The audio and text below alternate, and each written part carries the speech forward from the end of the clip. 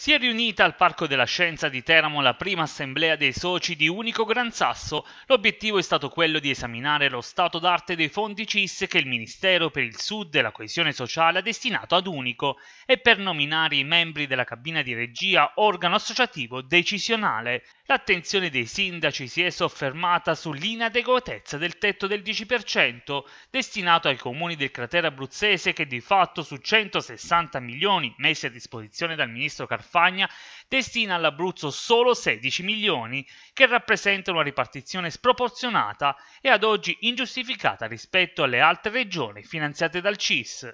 Uh, unico comprende tre regioni, la città capoluogo, uh, diversità anche territoriali, ma ciò nonostante l'intento e l'impegno di tutti i sindaci è quello di portare avanti un unico progetto, un'unica soluzione, un'unica risoluzione per questi territori. Noi abbiamo un progetto che si chiama Living Gran Sasso, abbiamo presentato al CIS una porzione, una parte pari a 12 milioni di euro, il Ministero, il Governo ha deciso di assegnarci un primo stralcio di 3 milioni e 2 per poi arrivare a finanziarci l'intero importo. Eh, una grande soddisfazione perché il progetto è stato approvato, è stato condiviso, eh, una grande soddisfazione perché lo porteremo in esecuzione nello, nel breve tempo, ma con qualche rammarico perché le percentuali di riparto, il famoso 10%, colpisce ancora una volta i nostri territori che crediamo un po' tutti ormai sia, eh, come devo dire, una cosa da rimodulare e rimodificare almeno con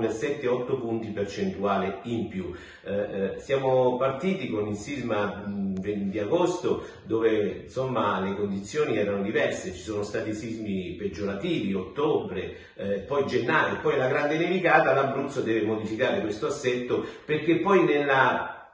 diciamo, disponibilità delle risorse del PNRR eh, avremo diciamo, risorse maggiori per poter pianificare ancora di più quello che Unico eh, ha progettato e programmato portando a casa risultati anche importanti. Le infrastrutture, altro argomento di cui si è discusso, beh, credo che non debbano entrare nelle risorse eh, diciamo, di aiuto delle aree interne. Quelle spese, quelle attività, quelle infrastrutture devono essere a carico del governo, del MIT e non a carico dei territori e dei singoli cittadini.